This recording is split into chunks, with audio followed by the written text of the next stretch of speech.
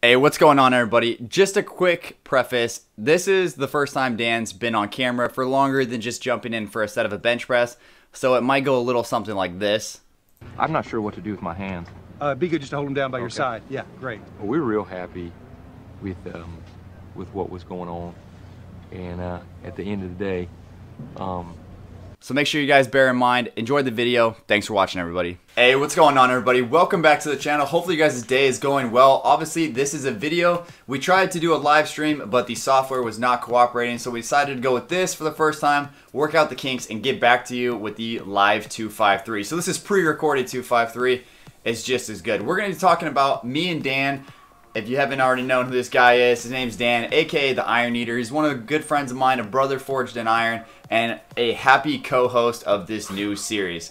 What we're going to be talking about today is his interpretation and approach to weight training, and then my interpretation where he's been and where we've gone. Progress. He's been lifting for a little over five years. I've been taking lifting seriously for probably about seven, but I've been lifting since 2009. We've both been through the struggles, been the ups and downs, seen basically what we're going to prevent for you guys getting the most actual benefit from your time because we've been there on the long road, the bumps, the bruises, all that kind of stuff. You can linchpin off all of our struggling to get that much more success. So, Dan, what is your approach to weight training? What's your mentality? What's your sort of rep and set range? What's your typical day look like?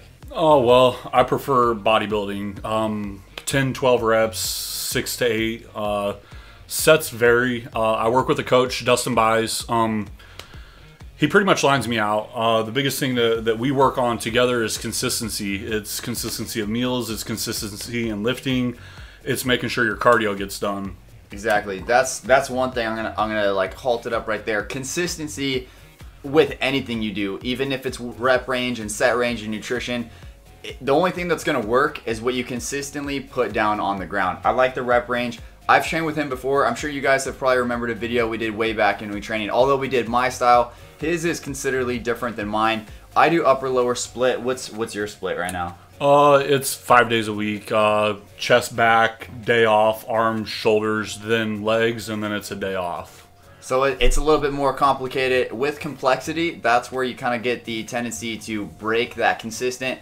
But once you see the results, and Dan has, has definitely seen the results, um, since we are doing a recorded video, I can put his progress pictures on here, which is great. So hopefully you guys take a look at them on the screen right here. Dan puts in some serious work. He puts up some serious weight with these. So with his rep range and the set range that he has specific, what would you say you're going for? Are you going necessarily for that strength and that endurance, or more moreover like the pump? Uh, I prefer pump. You know, we've talked about this before. Uh, mass equates strength, strength equates mass. So no matter what route you go, the bigger you get, the stronger you'll be, and vice versa. So really, really dial it down at the end of the day, guys, is consistency.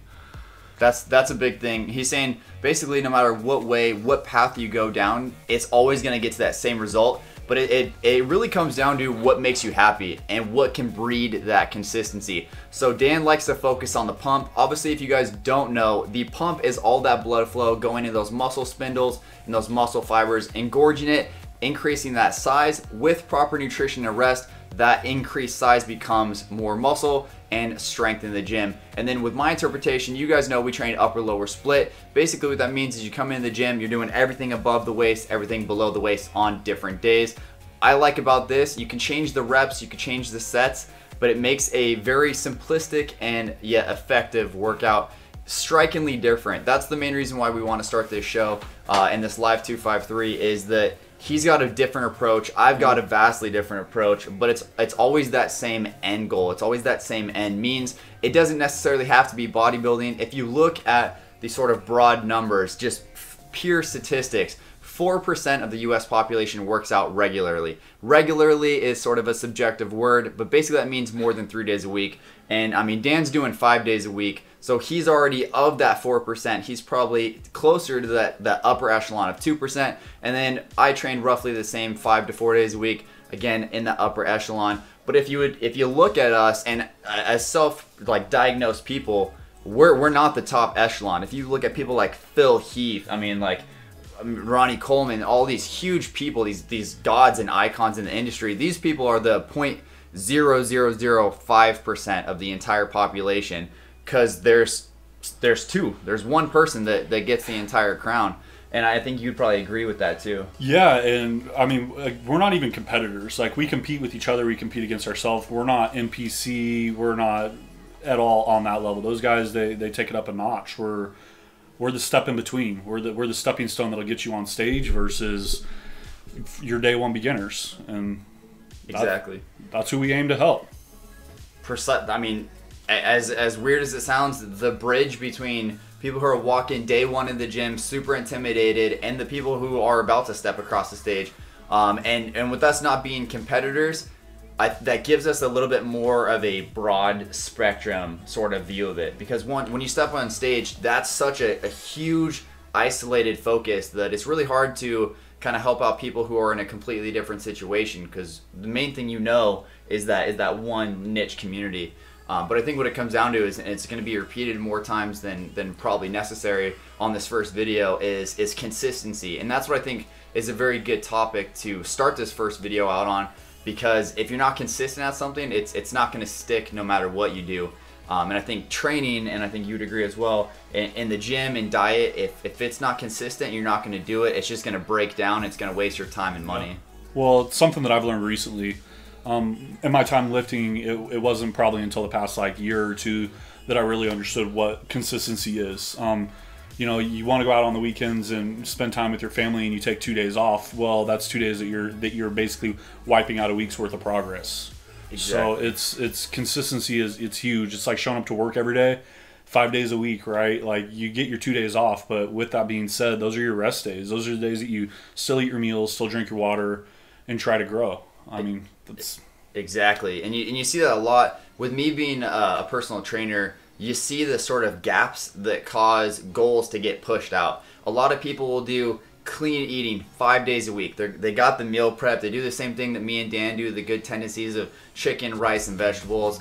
And then the biggest fallacy that you kind of see within the consistency of fitness is the I deserve something, or that's and that's a huge thing. Is oh treat yourself that will that will destroy a trainer if you ever hear that. Because it like Dan said it comes down to basically what is your weekly average.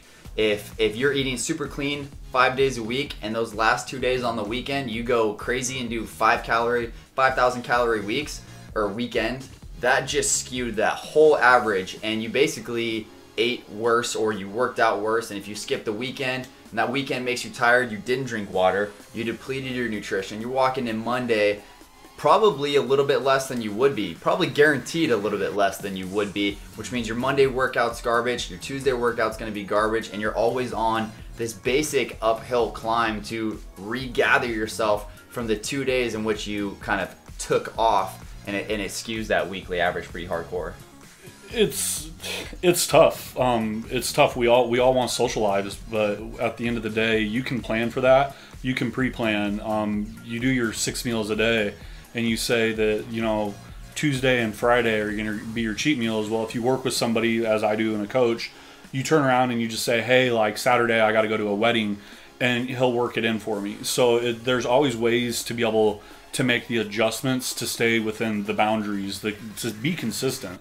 and yeah. it's a it's a word you're going to hear me say a million times, but it's a lesson I'm learning right now. Oh yeah, and I think one thing uh, that I know I know it's helped you definitely it's helped me for for the sake of consistency and, and numbers. That's I think one we differ on a lot of things. Numbers are the big thing for I think Dan and myself. Is would you agree like MyFitnessPal has probably like revolutionized bodybuilding and, and fitness?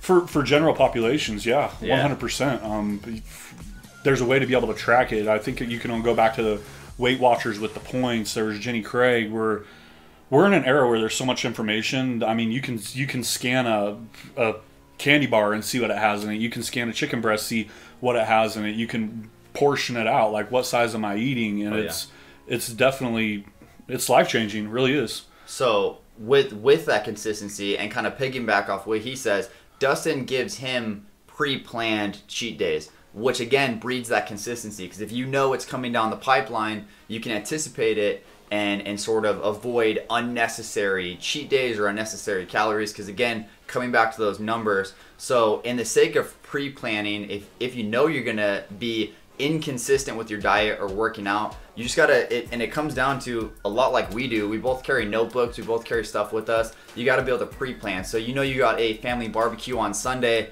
and you're probably gonna eat X amount of calories. Look at your week previous and see if you could subtract maybe something as little as 100 calories from each day, which is gonna afford you that slight surplus at the end of the week and maybe make that what would be a really detrimental workout or detrimental sort of cheat surplus meal and it could sort of alleviate some of the excess. Well, with that being said, not everybody's necessarily into the weight loss. So for me, like a cheat meal is basically it's it's going hard in the paint. I oh, mean, Oh, yeah. you've eaten with me a few times. You know that when it when it comes to cheat meal time, I'm gonna hurt. It's uh, my goal is to get bigger, so I I eat my cheat meals before I work out. We're talking, you know, a couple hamburgers, and I'm not talking like McDonald's burgers. It's Red Robin. It's Five Guys double cheeseburgers. It's we're seven rolls of sushi. I don't care what I do. It's it's we're we're gonna eat, and that's that's if you're in the growing game, that's the way to go. Yep. Oh yeah, and I could like firsthand attest to the sheer volume of food Dan can eat, um, and that's sort of the other side of the tracks. Um, and you look at Danny; he's a big dude. We both started from very, very slender, humble beginnings, and both of our pictures right here. I mean, that's that's when I started. That's when he started. Uh, and if you look at a picture of us now, since I started seriously lifting, I, I'm up 20 to 30 pounds. But at the very beginning, I mean, I'm up 100 pounds, and, and I mean, Dan's a, a, a monster compared to where he was when he first started. So we're we're on the opposite side of the tracks of, of weight loss. Where obviously we're trying to gain muscle, um, and that means getting those numbers. And a lot of people will use the weekend and kill that gains, and and you'll see them like exactly like today. Like Dan brought food here and made me eat a, what is basically a small child because the weekend is when I kind of lose it sometimes too. Um, y- you you lose track of that consistent timing and meal prep in every two hours, and the weekend gets skewed because the timeline when you wake up is different, when you eat, when you come downstairs to get coffee, it's different, and all that throws into a big chaos, and and you see those big gaps, and that's that's an issue of mine is is the gaps of not necessarily going overboard, is going underboard. Uh, and when you're gaining and when you're on that weight gaining and that muscle pro- like progression, that's something that could easily destroy uh, your consistency and your results. Yeah, it, it, it's tough, but that that the word consistency again and again and again. Um, you know, you have to ask yourself what what means the most to you. Um, for some people, it's it's just something they do to stay he- healthy. They just want to be into general fitness, and that's fine. I don't think it's uh, as important for you guys to stress this point. But if you're goal driven and focused like Josh and I are, then it's. Th- I mean, this is what we love to do. This is, you know, we don't have friends. We have the gym. We, we have competition, and it's friendly competition, but it's competition nonetheless. Oh yeah, and I think that comes down to the the the adaptation that you bring to fitness. Like what what is that pinnacle goal? Is it to have the best physique that you possess? Is it trying to compete with someone that's so far out there? Like let's say you're trying to compete with Phil Heath. That's a that's a huge huge goal that's going to require superhuman consistency on a, on a huge daily basis. But but Dan kind of alluded to it. It's it's for us. It's getting to the best physique possible, getting to the biggest and the strongest physique possible, and your adaptation to fitness needs to align with that. Your the way you sort of go to achieve things has to. If you're trying to be Mr. Olympia, but you're drinking on the weekends and you're skipping workouts and, and you're and you're not getting the most out of it, you're never gonna get there. And the same reason is if you're just trying to look good for the summertime and you're just trying to be generally fit, you don't need to have 98% clean nutrition. You don't need to be in the gym seven days a week. You just got to remain healthy and keep that in in the standard atmosphere of, of where you're going. Goals are are huge, and the consistency really has to match those goals. I'm, I'm, I'm assuming you'd easily agree with that. Oh, by far. Um, general population, we just it's consistent. I can't think of another word that describes this action better. It's no different than if you want money in your bank account. You can't save twenty thousand dollars in one week. Well, I mean, unless you make that kind of money. But Yeah. realistically, it takes a lot of us putting little bits away, and that's essentially what you do when you're driven towards your goal. Is it's just you're saving a little bit and a little bit and a little bit, and soon you have more than vacation money. Soon, soon you have your down payment on your house. Soon you you have the down payment on two cars. What you know, whatever it is that you dream of. But essentially, that's what it comes down to: is practice makes perfect. And I think that outside of bodybuilding, outside of the gym and fitness, uh, we can learn a lot from it. It's it's the reason that it's usually compared to businesses or operating businesses and sports.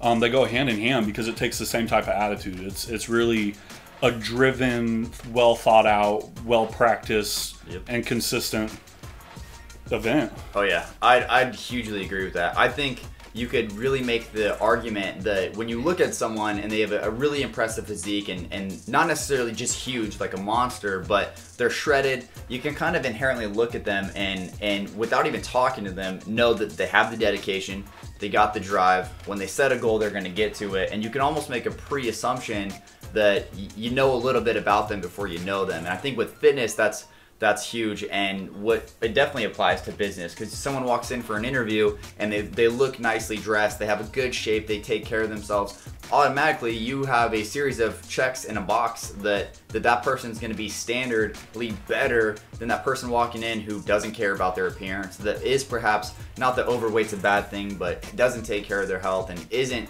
in the same sort of consistent ballpark as that person is it kind of gives you a leg up on things outside the gym I'm I'm honestly scared to put a puzzle together with Phil Heath in the same room because I believe that he would be that much better than me.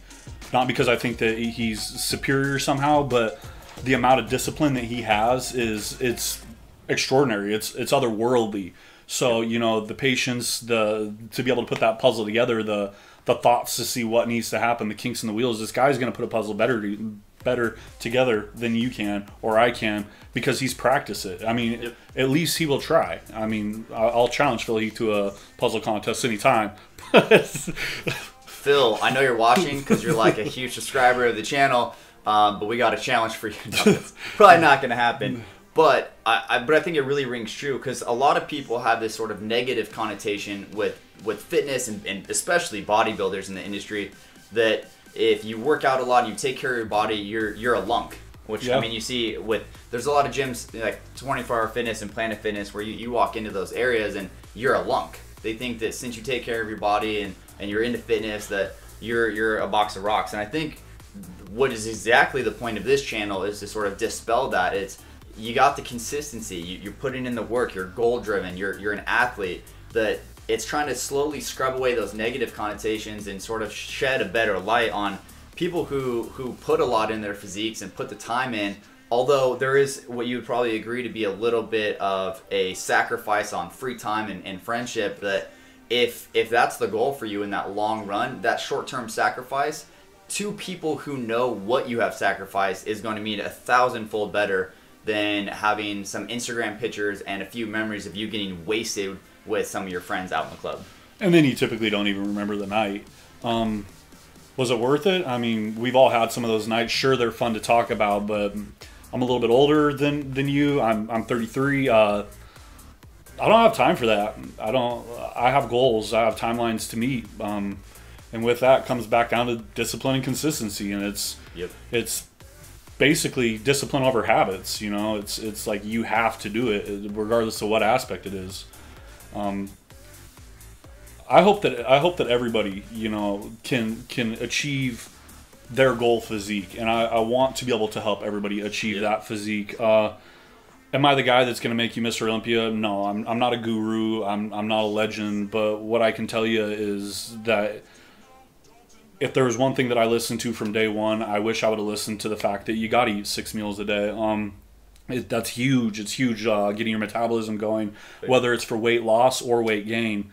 Don't be scared of cardio if you're a bodybuilder, guys. Like that's that's a huge yeah. myth. I do I do hit cardio five days a week. Um, there's no reason to avoid that. Um, go take a look at my Instagram. Josh will put it in the link below. Um, we can go ahead and you know make the comparisons, but you can see my progress over the years, and it, it'll go to show you that over the past year, year and a half, I, I've developed a lot faster than I did in my beginner gains phase because back to the keyword consistency, and that's the name of this episode. Oh yeah, for sure. Let's like get like a running tally of how many times we've said it. Um, but I think what what it really comes down to is we're the, we're the middlemen. We're the people who hopefully, if you aspire to be better than us, or maybe to even just our level, um, we're the people that you, you need to listen to, and that's a huge thing. I wish I would have done when I first started. Even even now, me and Dan will be talking about something, um, and he knows how stubborn I could be. He'll be because I mean he's been in the same circles, and it's really easy to be like, I'm just gonna do it my own way. I'm gonna do it how I've how I've done it. it it's comfortable. I, I like what I'm doing. And, and it does take someone who's been maybe a little bit further than you're willing to go or into a different space to like, hey, you, if, if you're trying to go somewhere where you've never been, and he says it all the time, you gotta be willing to do stuff you've never done. And that comes into getting out of your comfort zone with rep ranges, switching the style of lifting, maybe listening to a uh, group of guys, two schmuckaroonies, who have been a little bit further than you, uh, and, and kind of listening to these things and be like, ah, maybe I do need to listen uh, to some people who have been through the grind to get a little bit ahead of where I'm going. And that's the same thing we do. I mean, I listen to like Marc Lobliner and, and, and big, both of us are big fans of like Mark Bell, um, people who are higher than we want to be and you really got to mirror them and listen to them and, and, it's one of those things like if you mimics the success of others you will succeed better than they do and that's just one of those things where if, if that consistently happens over and over you're going to get further than they are at that point because you know more than they did at that point and that's something I think you'd probably easily agree on too. Well, one thing that, that we have out of you and I in this channel, the community, is is we have accountability. I oh, you I send you you know snapshots out post workout. I'll send you you know hey this this is where I'm at today. It, you have somebody to hold you accountable to say you know, hey, get your head out of your ass. You know, you just quit quit pouting, go get it done. Hey, you know, Dan, you're doing great. Like you, you look like you your delts have gotten bigger. Whatever. Like you have somebody there to be able to tell you when you're doing something right, but you also have somebody there to hold you accountable when oh, you're yeah. doing something wrong. Yep. And that that's a hard part. I mean, if you guys can find somebody to work out with, or even if you don't actually directly work out with them, but somebody that you can have, you know, a good friend and build a relationship off that, that's awesome because the accountability is another factor that goes back with consistency, discipline, consistency, accountability it's it, it's it's just discipline. That's oh yeah. It, it, boils. I mean, they're all all those words are very synonymous with each other. To take away one really voids all the other ones. Um, and I, I think one thing that we could finish today's video off with is the consistency is huge. Um, and kind of looped into that is like drive and motivation. So to, to kind of end it off, what, how do you find motivation? Like, is there videos? Is there people? What's what's your token to get you motivated? That way, when these people watch this entire video and they get to this point and, and they're they're liking what they're hearing, that they can go maybe take a look at who gives you motivation, get into that light, and then maybe progress that much further. So what's what's your source of motivation? Oh, my motivation. Um, I have a great one for you, and I'm going to steal yours, which is Matthew McConaughey. But when you said it, it made sense. My motivation is me in five years. And you ask me again in five years, it's going to be me in another five years. Yep. And ask me then, it'll be me in another five years. I will never settle. I will never strive to be content with where I'm at. If I if I gave up bodybuilding today, I would go be the greatest businessman that I could possibly be. Hopefully, a CEO of multiple multi-million dollar businesses. I mean, that's my motivation comes from myself. Like I, I, I get gratification off of seeing my own success. Yep. So. Oh, I, I, I, full, I mean, I full heartedly agree because he says he stole that from me because he definitely did. Uh, it's, it's just one of those things where to be better than yourself by five years and to always seek that person, you, because you never want to really fully idolize someone else because you, you're not in their steps, you're not in their life and and to fully mimic and, and mirror it to it it just it won't turn out as well as you think it will. So to match your person to match you in five years and always want to get to that person who's always better than you just out of that reach. I think that's a huge thing. Um, and i'm actually going to inversely steal something that, that gives me a lot of motivation and, and that definitely as of recently uh, has made like a huge impact. And that's something that dan tells me all the time and for my younger viewers out there you got to plug your ears um, but one thing that, that gives me huge motivation is, is when you look at yourself and you realize where you're going at, and you just kind of have to stop, take a breath, and tell yourself to stop believing the bullshit story you're telling yourself. And and it sounds so quick to say to you, and you kind of realize it, and it's it's very easy to kind of take it back and be like, what? But you, you just gotta you just gotta realize yourself, oh, I don't have time to eat. You, you do have time to eat, but you're not prioritizing eating. Or I, I just can't make it in the gym. Like I, I don't have the time. Again, you got the time, but you're believing this BS story that you're telling yourself and you're just reprioritizing. The second you can give yourself an out, you're always going to take that out. It's just how it is. And I think that's a huge motivation thing for myself is to to hold yourself accountable and and to link up with the community exactly like ours. Go onto social media, make your goal, declare it out loud i- on Twitter, because because rest assured, and we and we've seen this time and time again, where you say you're going to get to a goal and you don't. There's always going to be that one person that says you didn't get that goal. You said you were going to. What's going on? And, and that community is going to hold you accountable, and you're going to hold yourself accountable because you got a story you're writing, and it, the second you start to believe that BS side of it, it's just going to make that book longer and longer, and you're never going to get to that end page. But is there any any closing argument? Uh, my closing argument is simply you're your own author to that story, and Yep. with that being said, you you can basically change your own destiny just by just by taking the first step. Fitness, business. I, I don't care if you want to be the best pea farmer. Just do it. Yep. Just just research it, figure out what you need to do, and take action.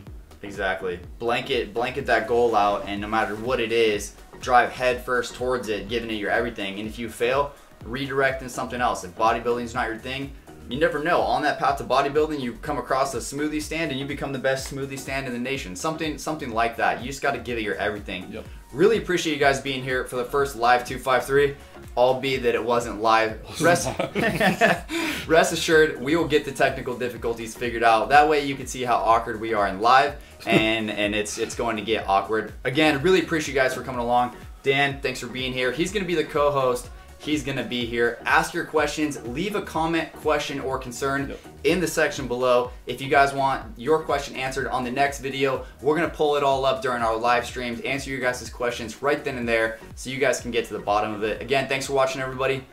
Take it easy.